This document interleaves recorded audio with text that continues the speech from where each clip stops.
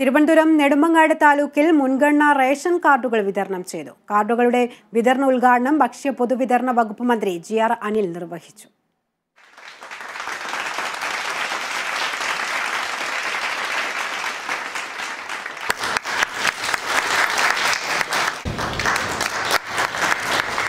നവകേരള സദസ്സിൽ നിന്നും ഓൺലൈനായും ലഭിച്ച അപേക്ഷകരിൽ നിന്ന് അർഹരായവർക്കുള്ള ആദ്യഘട്ട മുൻഗണനാ റേഷൻ കാർഡുകളുടെ വിതരണമാണ് സംഘടിപ്പിച്ചത്. ഓൺലൈനായും നവകേരള സദസ്സിലുമായി രണ്ടായിരത്തി മുപ്പത്തെട്ട് അപേക്ഷകളാണ് ലഭിച്ചത്. ഈ അപേക്ഷകളുടെ പരിശോധനയിൽ ആയിരത്തി തൊള്ളായിരത്തി അറുപത്തൊമ്പത് അപേക്ഷകർ മുൻഗണനാ കാർഡിന് അർഹരാണെന്ന് കണ്ടെത്തി. ആദ്യഘട്ടത്തിൽ എഴുന്നൂറ്റി അറുപത്തിമൂന്ന് മുൻഗണനാ റേഷൻ കാർഡുകളാണ് വിതരണം ചെയ്തത്.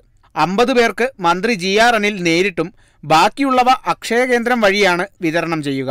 ഇടതു സർക്കാർ അധികാരത്തിൽ വന്നതിന് ശേഷം ഇതുവരെ നാല് ലക്ഷത്തി പന്ത്രണ്ടായിരത്തി തൊള്ളായിരത്തി പതിമൂന്ന് കാർഡുകളാണ് മുൻഗണനാ വിഭാഗത്തിലേക്ക് തരം മാറ്റിയതെന്ന് മന്ത്രി ജി ആർ അനിൽ പറഞ്ഞു.